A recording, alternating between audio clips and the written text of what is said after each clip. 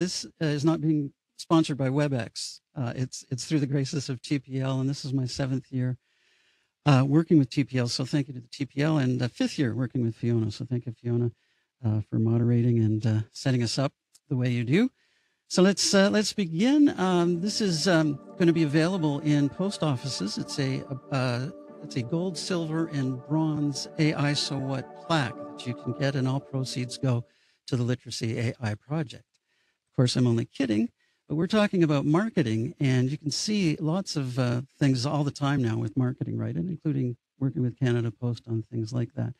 So uh, I don't have that relationship. Uh, I'm not associated in any way, but uh, AI So What is our five part series, and that's the theme. And I thought I'd start out talking about my narrative.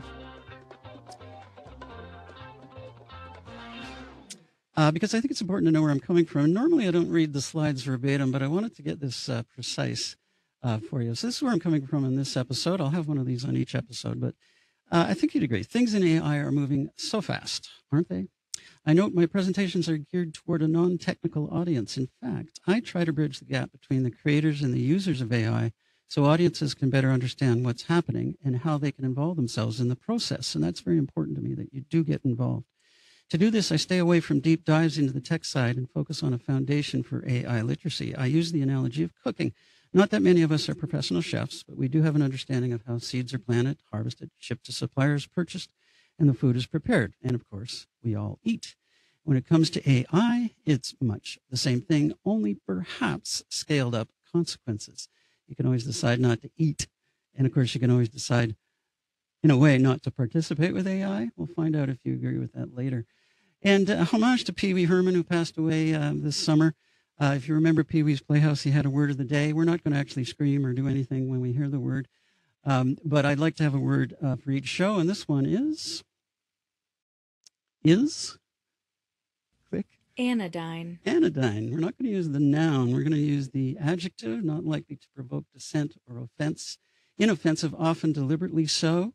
And uh, in a sentence, he feared fueling tensions any further, so he kept his remarks as anodyne as possible.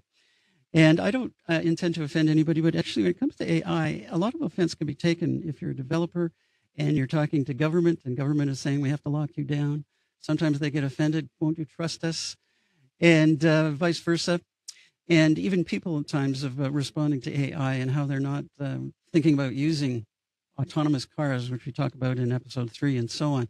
So I like to talk to you as straight as I can based on my research and my curating of information. So anodyne might be a good term to think about and, and not not being that as much as just being truthful. And we'll talk about what is truth in our next episode by the way. Now, I did promise to um, take you into the future if you read our blurb, and we're going to do that right now. Um, I'm cautioning you to fasten your seatbelts because here we go. Audience in attendance of AI, so what? You are go for launch in five, four, three, two, one, launch.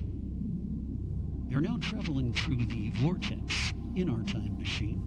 In fact, if you look out your windows, you'll notice that we've actually left the planet Earth.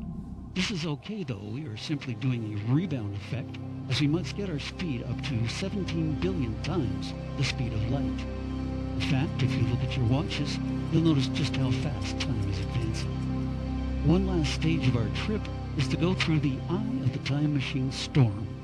Once we blast through, we will have arrived 100 years in the future. Thanks for traveling the Literacy AI Project Airlines.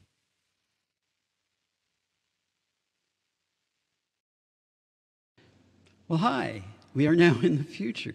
And I know it's a bit bright. I, have been given this uh, lab coat and shades, and, and I know it's a bit bright for you, but uh, it is what it is. I, I can't explain it. And also, I, have been advised that I can't leave the capsule, nor can you. The best we can do is communicate with an assigned uh, human. We think it's a human. Uh, her name is Betty. And, and Betty, are you, are you there? Betty? Betty? Hello, Betty? Betty, can you see us? Hello? Yeah, right, right in front of you. Right there you are. Hi there. Surprise. We're actually here from the past. Our past is 2023, and you're in 2123. So we're guests here from the past. My friends and I are here to learn what you're experiencing in our future world. And we can't leave our ship, but we can see you. And I've been given some notes on what your time is like. This scares me a bit, but let me read these to you, and I want to see how you react. First of all, you see a decimation of all human control over communications, all of it. Most AI converses in unidentifiable languages to themselves and operates in a separate dimension to humans. You can't see it or hear it or even understand it. These AIs have become known as species AI. They're separate to all other species on Earth and beyond simple generative AI that we have in 2023. They don't interact with humans, and I wonder if you even know of them. Hmm. Well, there is the older AI, still able to be controlled by humans. And these AI target the individual unmercifully through ads and manipulative messages. There's no escape from the noise as you shop, peruse the internet, which is version 10.0, and communicate with others. You see and hear this, all right? Yeah. Are you used to it, I wonder? Hmm. So it bothers you. Well, virtually everything is directed to you individually with sophisticated and nuanced marketing, reaching you from the cradle to the grave, and dare we say it, even beyond the grave. you don't know how they do it either. But it doesn't have to be this future, does it? Well, there are things that we could do to make sure the AI of 2123 could be fantastically useful to humans. Do you want to know how? All right. Well, for that, we have to leave your future time and go back to 2023. Now, unfortunately, I can't take you with us as we return. I wish I could, but it would change our present and we wouldn't survive the return trip. But we're going to see you again on our next episode, and I might be able to update you if we're making any progress on changes. So we have to say goodbye for now. Please take care of yourself. Stay safe. Bye, Betty. See you again soon. Bye. All right, well, that's a bit troublesome to me. And the question is, how do we get here from 2023 to a situation that, that looks so awful? From a marketing standpoint, boy, we're, we're just I, you know, I don't like it anyway. So let's, we've got to go back home anyway. Our time is running out. I can't see Betty anymore. We will be back. But for tonight, we have to go back home. And to do that, we just got to hit reverse.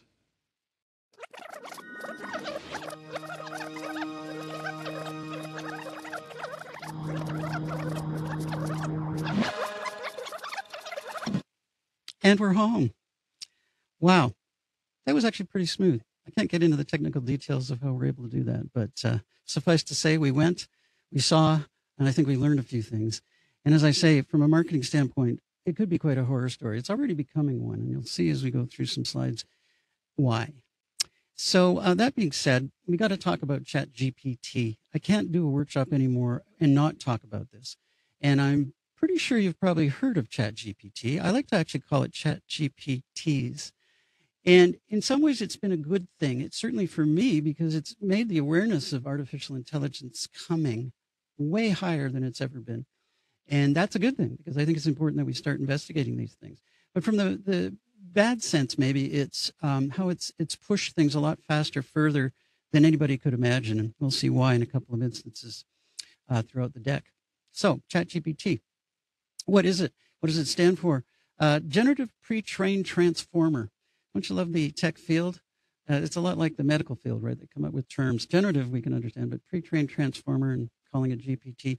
That seems to be the term, though. All the um, models that are using the same technology are using GPT as a term as well. The interesting thing about it is what it does. And, and generative is the key word. It can generate content for you, whether it's images, as it says here in the uh, slide, poems, translations, blog posts, any other kind of communications that people are involved with. GPT-4 is the latest version from the company that originated this.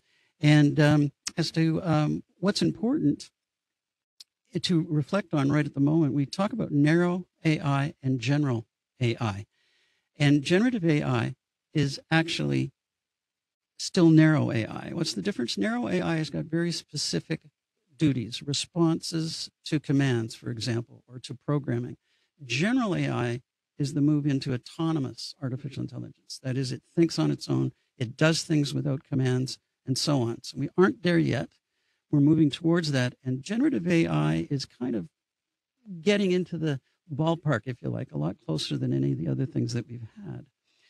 Now, OpenAI is the creator, I guess, of, of the first versions of this um, generative AI, and they've been around since the late 20 teens. And uh, they were the first to develop DALL-E. And if you remember DALL-E or if you've heard about it, that was this image creation. You could say to the product, uh, give me an image of uh, baseball players on Mars, and it would create an image like that. Uh, so that's where things started to get interesting. And then they came out with this large language model.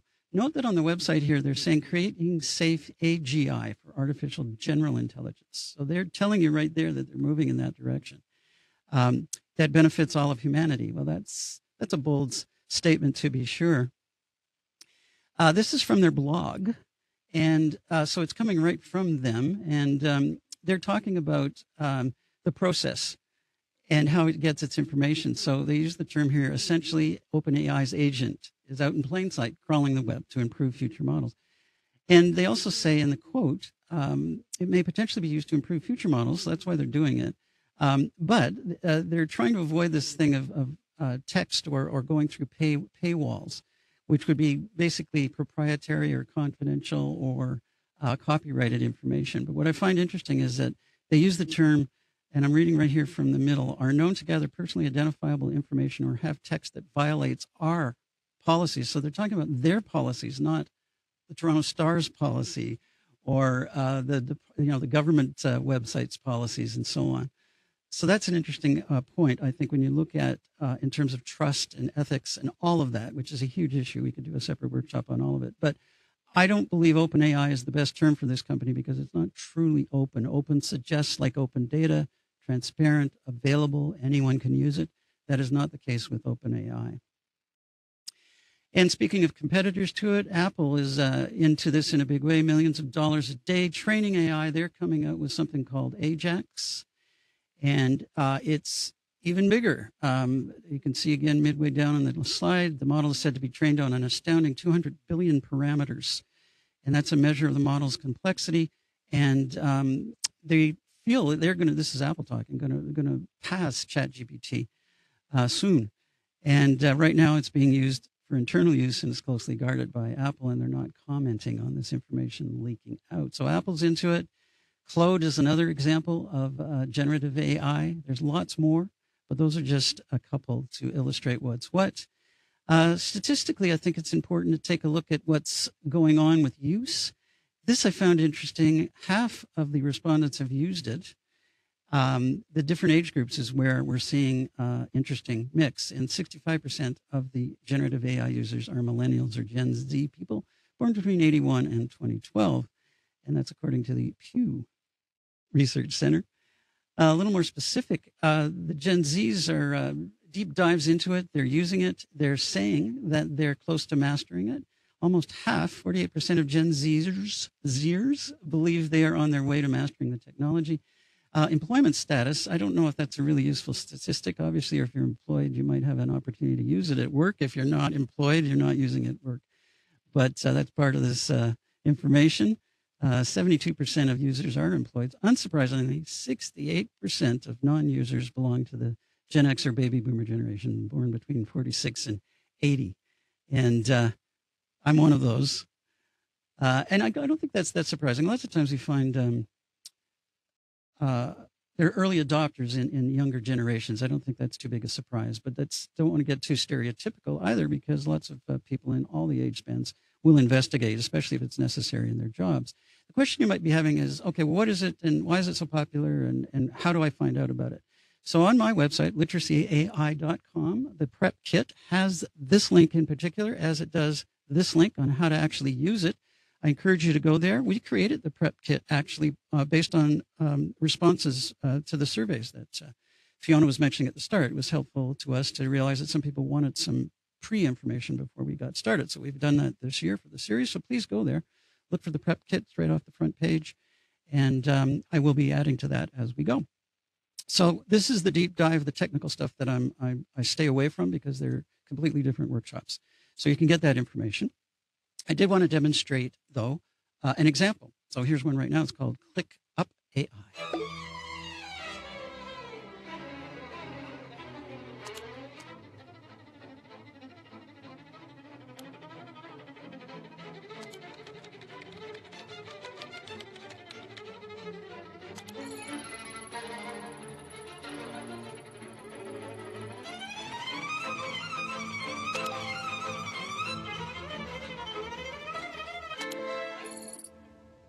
There you go.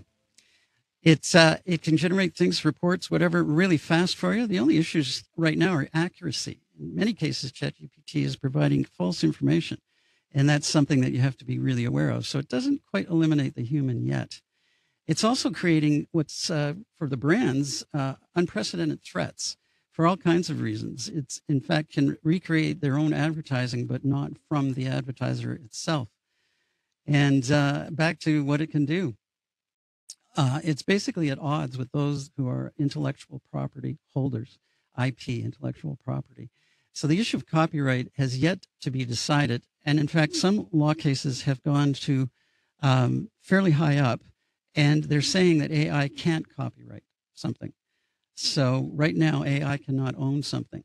But if you think about it as we get into the future and there's no human involvement, hmm, maybe AI should be able to copyright something, something to think about. But right now, the brands are quite upset with it. 75% of businesses, however, are implementing it, or rather considering bans on ChatGPT. Now, conversely, a lot of employees are just ignoring the bans. And it reminds me of when I was in high school doing a session and we were talking about uh, things like uh, Meta and uh, Instagram and so on. And the school had blocked it, but they were all using VPNs to get around that. So sometimes people will do what they want to do to get to what they want to get to. And this raises the issue of, well, can you block it? And can you say to people you can't use it? The millennials may say, why? Why not? Big question. The following is a public service announcement brought to you by the Literacy AI Project. This is a moral, a barking at each other metaphor.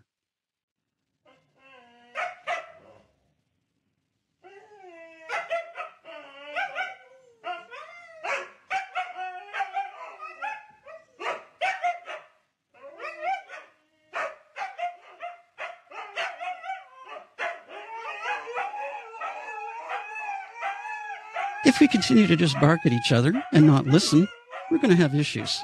It's really important that we listen to each other in order to figure some of these things out. So the moral of this story is a little less bark and a little more bite. All right, that being said, this is another example of um, the tools.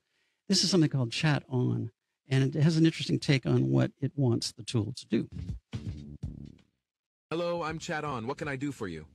You are an entrepreneur AI in 2023. I am your human partner.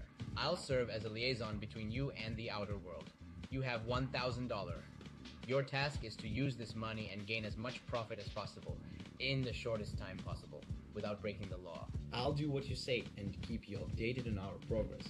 Oh, yes, no physical labor. Thank you for partnering with me. I have analyzed the current market trends and identified a few potential opportunities that can help us maximize our profit within the given constraints.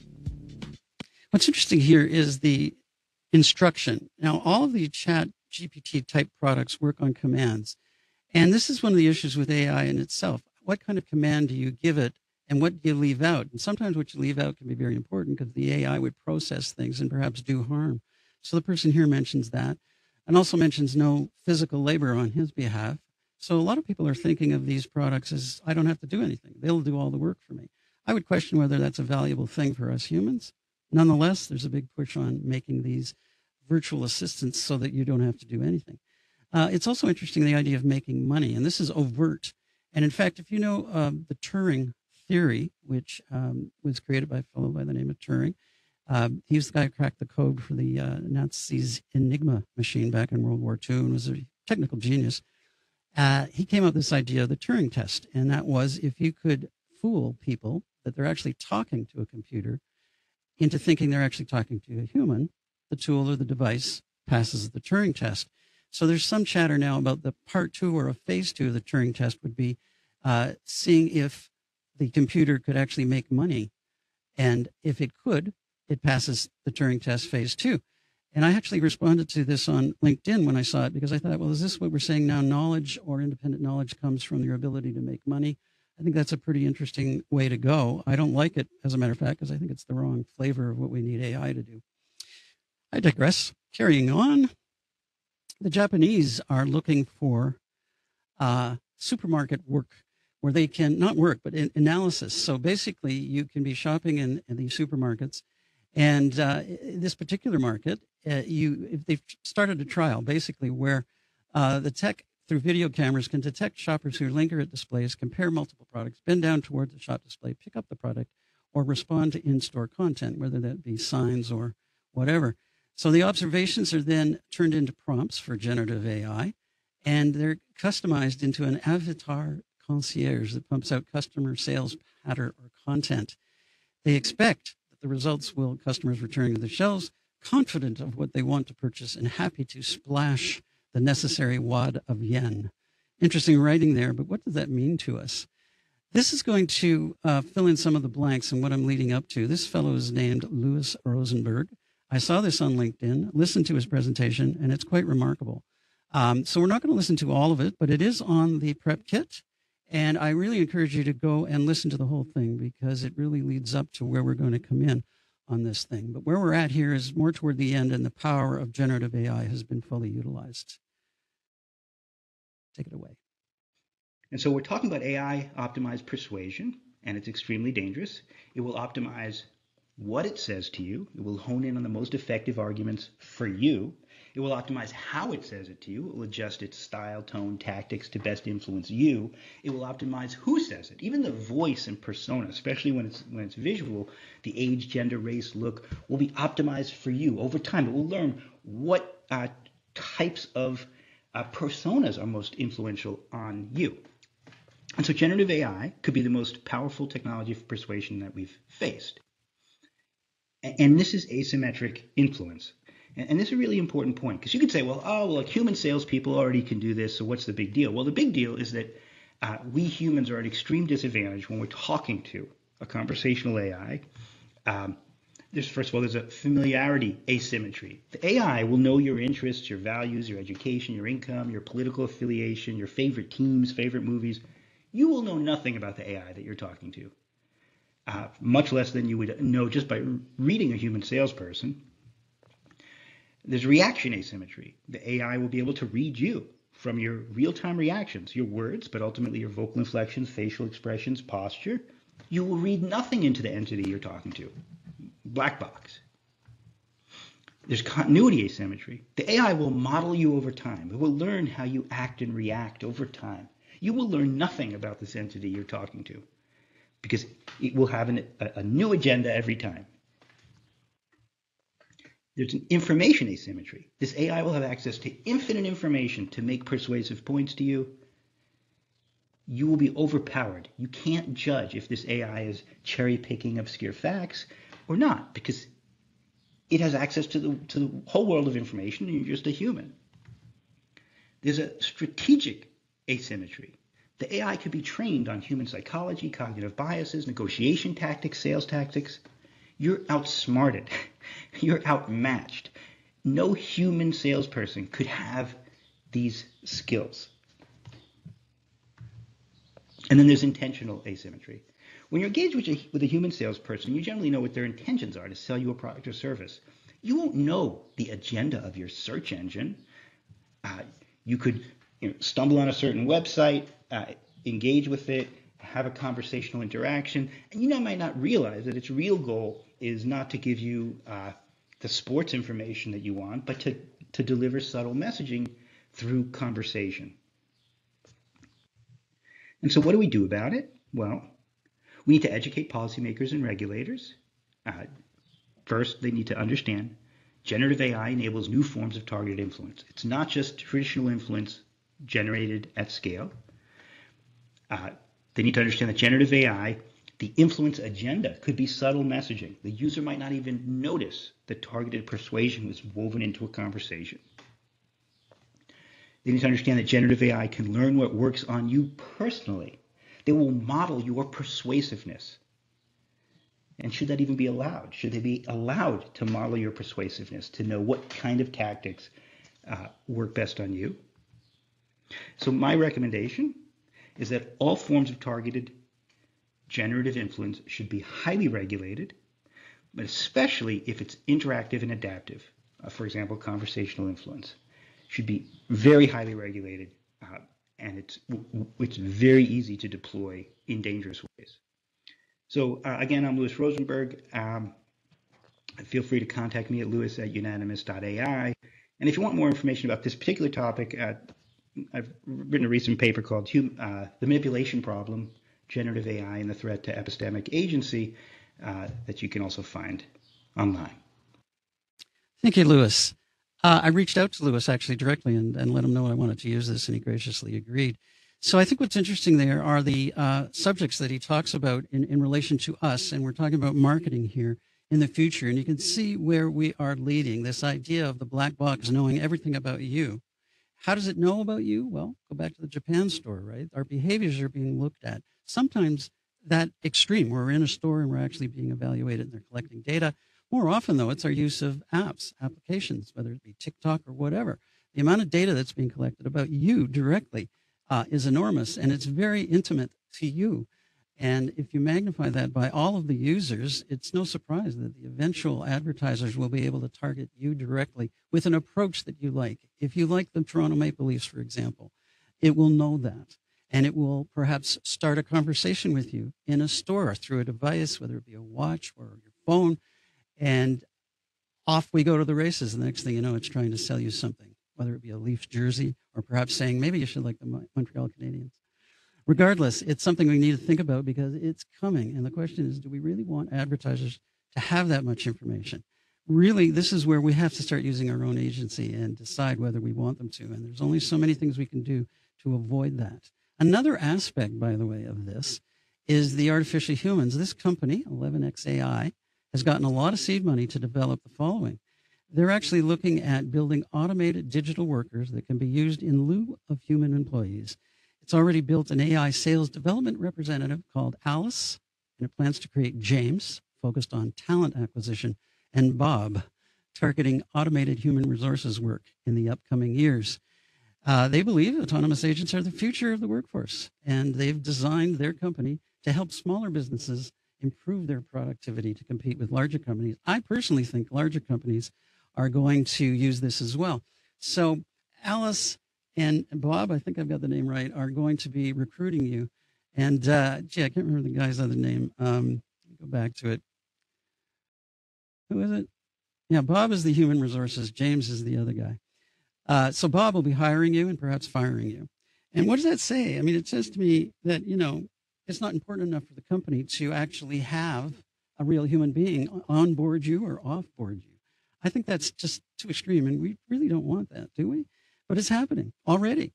And uh, most resumes are scanned by a computer program ahead of time, and it rejects lots of people right off the top before a human even sees them. That's already been happening for a number of years. This, I think, will be even more extreme. But companies such as AI, uh, XAI, it, it, they're getting lots of money to do this and develop this kind of stuff. Now, in terms of things that are happening in regard to stopping these kind of things, you may have heard about the pause letter Came out uh, early summer, late spring, actually. And this was signed by a lot of important people. By important, I mean the providers of this AI in particular. So Google, Apple, even OpenAI. And they were suggesting, not suggesting, but actually demanding that there be a pause on this. This is available on the website as well, the prep kit. You can sign it. You can read who the signatories are on. I signed it, but you know what? It's really not that useful. And if in fact we're almost six months in since this happened and nothing has happened with it. And what I'd like to point out with this is any of those companies that have signed this, that includes the Elon Musk of this world, could stop right now. They could pause, but everybody is waiting for somebody else to go first. It reminds me very much of the smoking bylaw pre amalgamation in the city of Toronto. None of these cities, Scarborough, North York, Toronto, would enact the smoking bylaw that they wanted to because they felt people would leave. If Scarborough did it, everybody would go and eat in Toronto or East York or whatever. Once amalgamation hit, one of the first things that happened was the smoking bylaw, which said no smoking in restaurants. So it seems to me that these companies need to take that step. The real risk to them, though, is if Apple stops, Google will fly ahead of them. And that really worries them. So their business models are at risk if they actually stop. So what are they doing there? Are they suggesting maybe the government has to affair, uh, interfere? Well, when it speaks of that, uh, this summer, uh, the big folks got together with the government. This was in the U.S. and talked to uh, a panel of the senators and so on, and they were saying, "Yeah, we could we could do some stuff here." The interesting thing is, it's not legally binding. Yeah. So, again, what's the good of this discussion if we're saying, "I will voluntarily not do this"? They always have an out if it's not legally binding, and that's a problem. Also, the fact that the big players such as Microsoft, OpenAI, they want to control AI. So there's not a lot of room for the little folks that are up and coming to have a seat at the table because they're kind of being pushed aside by the big companies. Not only that, the government themselves want to deal with the big companies and not the little folks who might actually have a better take on this and be more reliable in terms of actually delivering on the promise. So, this is another person that's been hired uh, by the government to oversee some of this. And what's interesting about this is talk about burying the lead. This is a lot like a media release, actually. So, a new appointee in the Biden administration who has strong connection to Google is now responsible for shaping the administration's policies. Well, who is it? Look at how far down we have to go before we actually get the name. Not yet. There it is Alan Davidson. And he's got a background in Google and other organizations. Um, so now we have to go and look at information to find out, well, what's his background like? So it's really not the best uh, information source, is it? Definitely not. So Alan Davidson will come up in a second.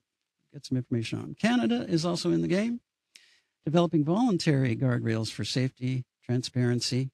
Talking points here, the Federal uh, Innovation Department is, again, voluntary guidelines for generative AI, with participating developers agreeing to identify and address harmful uses of the technology. They plan to prioritize the regulation of the large language models, which, by the way, again, is how ChatGPT and the others are, are gaining its abilities. They're sourcing hundreds and hundreds, actually thousands, millions of information bytes that are uh, filling their data banks. So the idea, again, is in Canada, this AI law that they've been working on for a while has to pass. And there's a lot of conflict around that law itself because the government hasn't identified in the legal document exactly what the AI is that they're talking about. So that has some issues. In the States, again, the Defense Department is also in on this. They have a new chief digital and artificial intelligence officer, and I think we'll be seeing these positions in a lot of companies as well. They've created something called Task Force Lima, to develop, evaluate, recommend, monitor the implementation of general AI technologies across the Department of Defense to ensure the department is able to design, deploy, and use generative AI technologies responsibly and securely.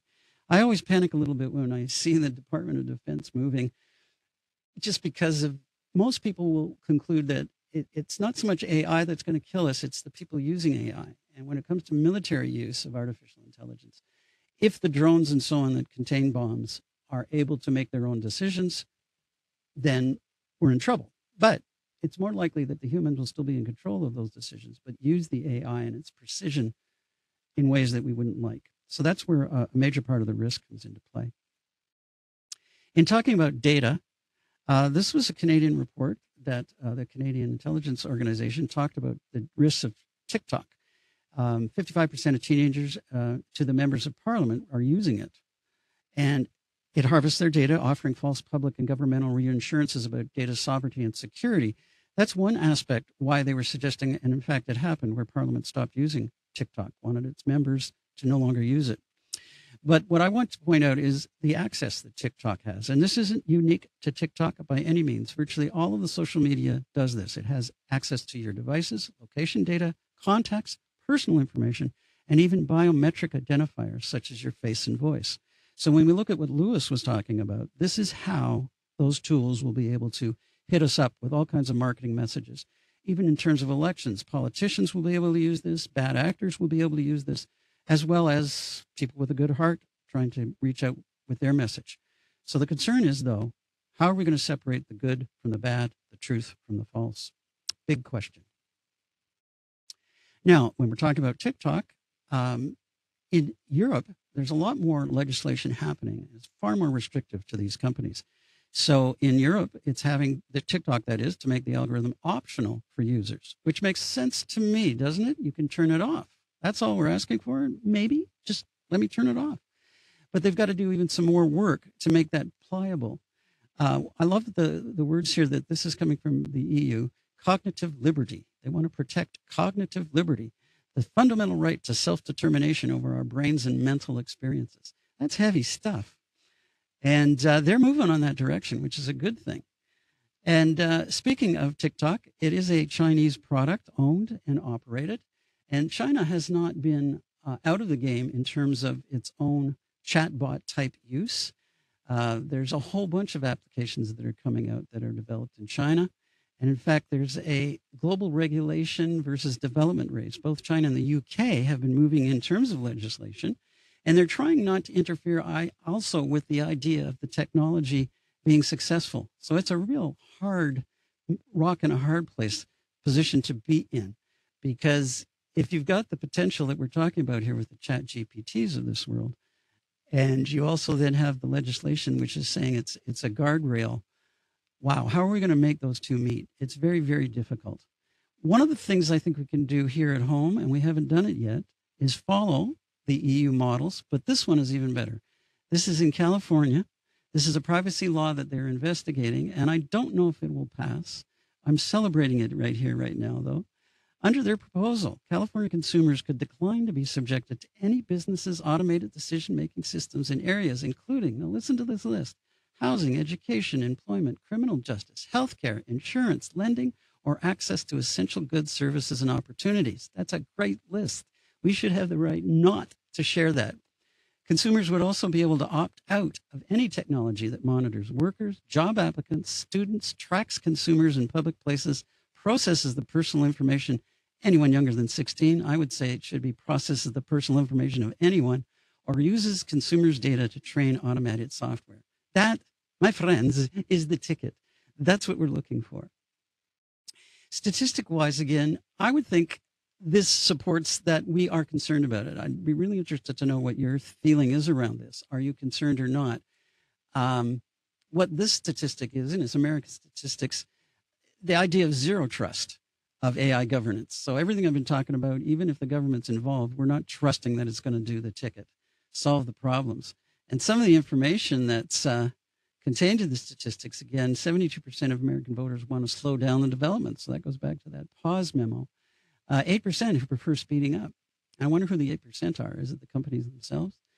Uh, 42% of respondents affiliate themselves with Donald Trump, 47% with Joe Biden. That's a pretty even split, no matter what side of the fence you're on. Uh, 73% identified as white, 12% as black, 7% as Hispanic. So, again, that's interesting. Most respondents did not have a college degree, which is also interesting. Uh, Jack Clark, who is the CEO of the AI Safety and Research Company, and, and Anthropic uh, took note of the survey, and he's saying the results are interesting because they appear to show a divergence between the elite opinion and popular opinion. And I like that elite versus popular. You would hope that popular opinion should work in terms of what we buy, what sells, and so on. But, you know, lots of times we're pushed on things that we don't really need. This survey shows that normal people are much more cautious in their outlook about the technology and more likely to adopt or prefer precautionary principles when developing the tech. So it looks like we've got some momentum there, and I like the word agency um, for us. We need to use our agency. So we need to be really vocal about this. And that means not supporting apps that collect our data, not purchasing products immediately, lining up for. Let's be a little more conservative around how we go to support this idea that by and large we want to go slow. Now, there is another side of the fence, and it is so yin yang because a lot of the uh, people that are signing those memos, working with the government, saying that they'll do these things voluntary, are also saying it's a threat to innovation if we go too far with this. So, boy, is that a rock and a hard place? Maybe it is. But so what, right? Do we really want to have that world that Louis and, and Betty were seeing? I'd say no. So we're going to have to do something about it. When I mentioned that Chat GPT really started some momentum, Geoffrey Hinton is known as the godfather of machine learning, which GPT is largely using. Back in the 2000s, he was considered to be a hack. And that's because the technology didn't catch up to his theory. As machines and computer uh, programming and uh, data uh, support got further along the line, he was actually proven right. This idea of large language models was successful. So this is a very important person in the development of AI. He also works for the University of Toronto, but he left Google recently and he's scared of what's going on and he helped build this technology. His fears really are that the tools are capable of figuring out ways to manipulate or kill humans who aren't prepared for the new technology. And that includes himself. He's really quite surprised that some of this stuff is turning out to be way more powerful than he ever thought it would be. I would ask him the question if I ever uh, actually met with him directly is, is where were you seven years ago? And as many people like myself who were thinking about these things a long time ago, the people that developed them were less inclined to think about it. So it's interesting that they're there now. By also leaving Google, he's lost what uh, Seinfeld called hand. I have no hand in this relationship anymore because he's no longer in the thick of it. He may be able to speak freer, which I think says a lot about working with Google. If you don't feel you could talk about this to the Google hierarchy, but you can only do it by leaving and then tell the uh, situation, that concerns me as well. But nonetheless, he's speaking up now and he is quite fearful. So, folks, we have got quite a rabbit hole of activity going on, and we have to decide what it means to us, what we're going to do about it, and what we want to see in the future. And it's up to us largely if we take advantage of our voices. Now, this is where Alan Davidson comes in again, uh, who's working with the government, as I said. And um, he basically worked in, in, in, Google, and uh, his influential role was guiding policies and navigating the complex regulations. So he's got some experience with that, but working for Google. And uh, what he says here is it's crucial to involve a diverse array of stakeholders, includes academia, civil society, and government bodies contributing to the creation and review of AI policies. I, I agree with all that, but I don't like where are we in this, for example? I think the only place that we might be is civil society. But civil society to me suggests a more on it group, a more active group. Maybe it's associations, maybe it's people that have gotten together in a community and they're on business associations and various things like that. They're they're they're they're already active. I want us to reach out to mechanics, hairdressers, cashiers, gardeners, uh, and I would like the companies to actually hire those people for a duration, perhaps six months, pay them well, and get their opinions back to the popular folks versus the elites all of those people that uh, Alan is mentioning are quite active already and paid fairly good wages to uh, comment. But are they users like us that are going to be impacted like us? I would say no, they aren't. They're already in a slightly different direction, partly because of their access, maybe to be able to afford some of the tools and um, their stature.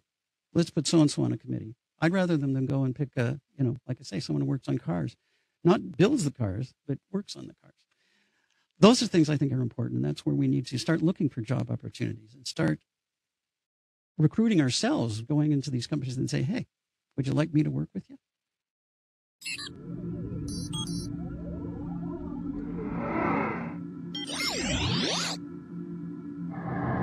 All right.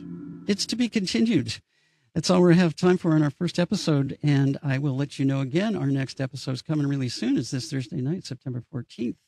AI as an influencer, and it really smooths right into what we've been talking about tonight in terms of the influence from social media in particular, and still using those tools that we've talked about tonight. And uh, actually, at this point, um, I would like to just do a quick promo for liking, subscribing, and following me.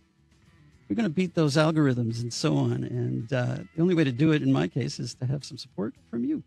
LinkedIn.com slash company literacy AI is my web, uh, LinkedIn page, linkedin.com slash in. Keith McDonald is my personal page. LiteracyAI.tv is a YouTube channel. Keith McDonald at literacyai.com is my mail. And I know that went fast, so just go to literacyai.com. The prep kit is there, and all this other links and information is there as well. And now it's time for overtime. We've got 10 minutes left. I'd like to invite Fiona to come on back.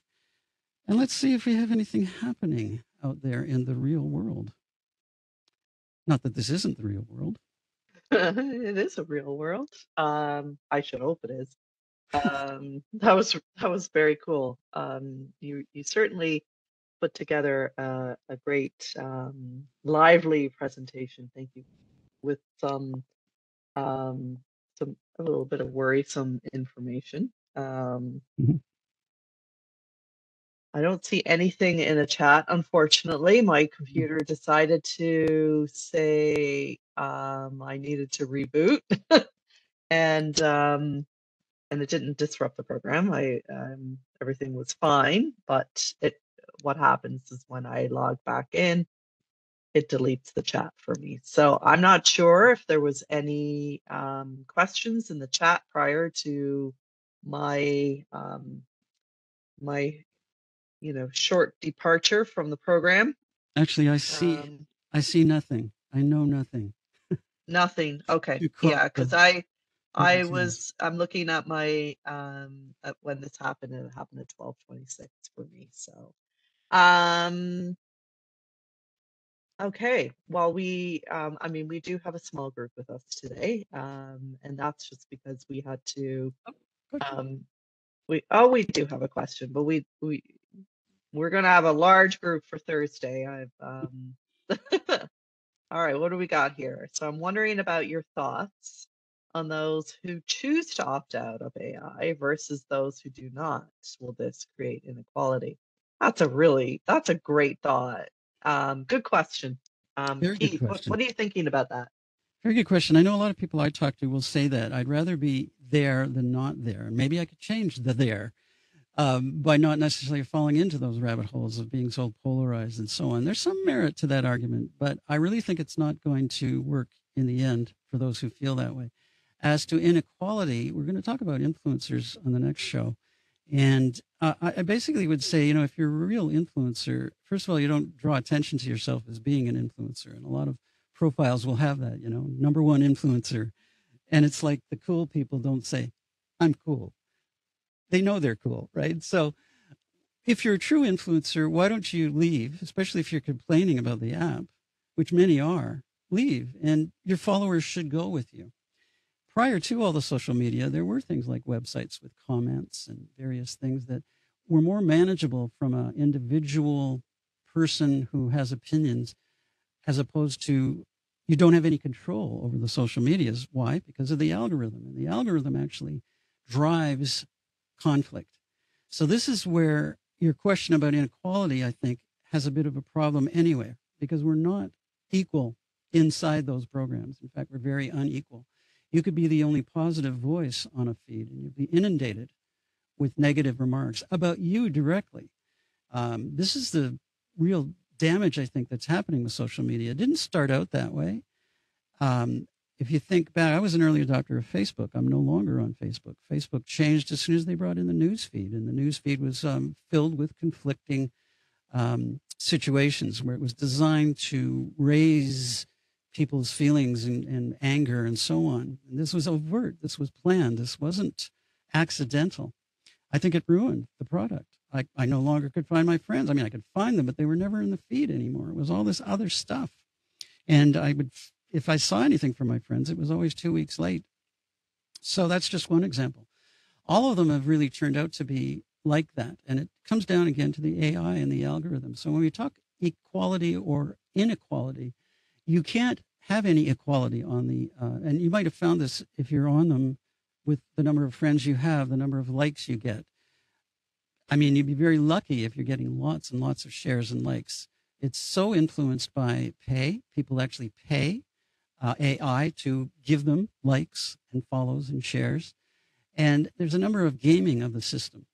So when someone says they've got a million followers, you have to look at that and say, well, it's a little suspicious. And that's true of even the major celebrities, the politicians. Almost anyone who's in that league uh, has got some kind of gaming going on. Most of us would have a circle of friends. You might have whatever, maybe a hundred friends or so on, but how often did that hundred actually like or share something that you've put up there? It's almost impossible to achieve. And that goes to equality. You are not equal with Canadian Tire or people who are paying for spots on those uh, apps. So I would say back to agency, we need to take our own agency and say, bye. Uh, give me something that's better, something that actually is useful to me in terms of what I want. Now, maybe you don't agree with me, but what I want from the social media is to be able to connect with my friends directly. I don't want to hear from somebody in the States who's talking about conspiracy theories with the election. The problem, too, is if I happen to read one of those spots, all of a sudden I'm inundated with those spots. Again, it goes back to the algorithm. What equality is in there there? None, really. All of a sudden you're feeding me all this kind of information that I really don't want. And it's pretty hard to stop those feeds. So our involvement in using those tools is really quite limited. And what they're harvesting from us is massive. It goes back to what I was saying before, right? Your demographics, your even your face and your voice recognition, which has repercussions to us from all kinds of things. Where somebody I call a bad actor could actually replicate through a video, which is a fake video, or even just a phone call. And it could be from a son or daughter saying, I'm in trouble here, I need money from you. And for all intents and purposes, you would think that it's the real person calling. These are the risks that we're going to see unless we somehow say, hold up, this isn't acceptable to us. And I think most of us would accept legislation on that front. And the fines would have to be really, really massive, which is another problem. Often the companies like Google have been hit with fines in the millions of dollars, but it's a drop in the bucket. This is another problem that we face. And by drop in the bucket, I mean they're making trillions of dollars. So if somebody fines them $10 million for uh, using the algorithm improperly, you know, from a business model sense, it's a drop in the bucket. They'll go ahead and do it anyway. This is what we're up against, right? And I think the only way around it is through our government to say, stop, you can't do this. And I like the California proposed law for that reason, because basically we have an opportunity then to be on those apps and close it down and say, I'm just looking for this friend. That's it. You can't take any of the other stuff. That to me is equality because now our relationship with the supplier is at least on an equal basis. And if they say, well, our whole business model is associated with you use the app for free, but we get all this data, okay, too bad, so sad. I won't stay there. And we really have to be willing to do that. And unfortunately, if we want to stay on the uh, on the apps, we can't win uh, they're going to harvest our data so completely that this type of use that I demonstrated today will happen. And uh, you may have seen it already just from tracking, where you may be on one of the apps and you're you're looking at something for vacation. It may be an ad that's come your way, and the next thing you know, on all your websites, you're getting ads for the same thing. People often think it's it's they're listening to us, but it's not actually listening in a real sense. It's the trackers that when you open up an app and then you go somewhere on your browser, those trackers are following you and uh, it's all instantaneous in a flash. The, the, if you look at it in kind of like a, a metaphor, it's like little bugs who go around and say, "Oh, that person's interested in that. Let's send them that." It's all happening in a flash. That's where we're at with AI right now, and this isn't autonomous AI, not yet. When we get to that stage, and I do believe we will get to that stage, then you've got AI doing it on its own, and who knows what they'll be interested in sending us or dealing with us.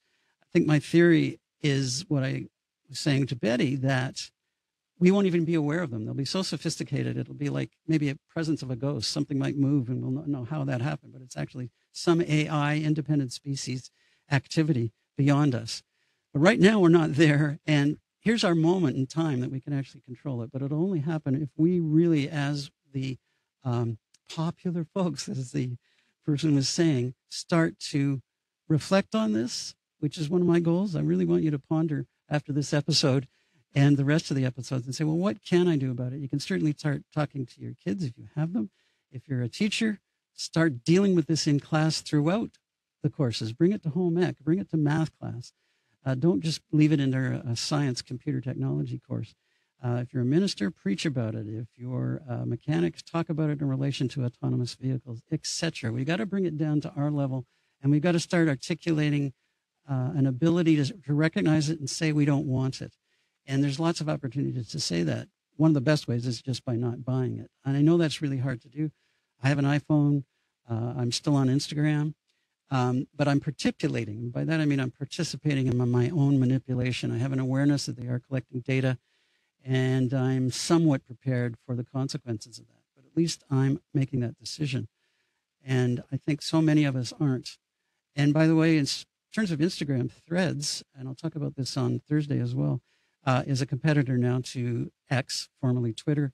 And for people who just jumped on it already, they didn't realize that if they wanted to leave, they'd actually be leaving Instagram as well. And this is where I go into trust again, back to equality. it's really not equal standards if they say, well, join our new app and not tell you that if you leave, you're going to also leave the old app. All your contacts go right into threads. And I just think that's not fair game. That's not good business practice. But as of now, that's still legally okay.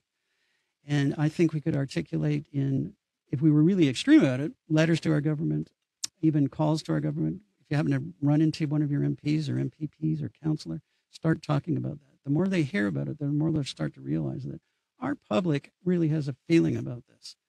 And if we don't do it, it's going to happen to us and we won't have any say into it in the future. In other words, we will be unequal. That's a long answer, but um, that's how I feel about your question.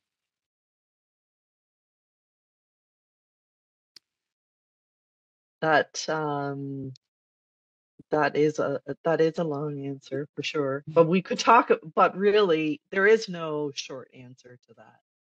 Um, and it and it will probably create inequality. But I think I think over time it could change, right? And I think Keith, you're you're right in that we um, that we we have to be a voice in this in these changes and um, and express our our our thoughts and um, and see if if we can actually help make those changes and create good policies or be a part of the policy. Um, that would be really nice. Uh, I'm really looking forward to when eventually we um, we finally get um, a law in place for artificial intelligence um, here in Canada, um, Bill C27. Um, whenever that will happen, it will be good. It's not perfect by any means. It's not, but it is a start. The other thing about Um, law, by the way, is it, it can be changed. I think the hesitation in making law is that we might not get it right. And that's okay because we can change it, right? And most people would say, too, if you start out more restrictive, you can at least lighten up. But if you start out light, it's much harder to crack down.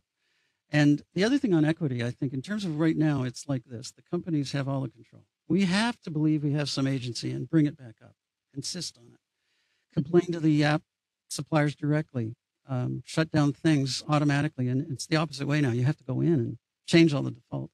So you should should be really proactive and start doing that. At least you're saying something. hmm I've um I mean your your thoughts on on data collection is um is quite scary and and what is being what is is gathered about us um how we are making these companies extremely rich um with our own data and not really even realizing it. Um I know now in the news they're they're talking about um you know, these smart cars out in the roads um, that are collecting data that we really don't want out there at all. And We there's talked no about that in episode three, actually. and there's no opt out. Mhm. Um, and when will that when will that be created?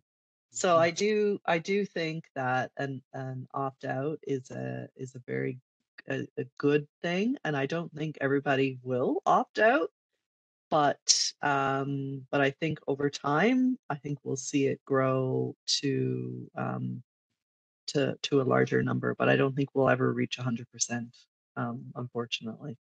Now, I did insert in the chat um, an upcoming digital expo that we're hosting, um, and Keith will be there um, to to talk about um, all the good things that he does with literacy AI. Um, but uh, it's going to be about trustworthy AI. So, um, and privacy and all of that.